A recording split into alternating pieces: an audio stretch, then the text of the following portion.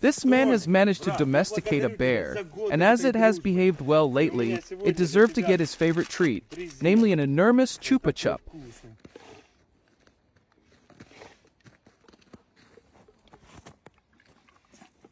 Would you have a bear as a pet?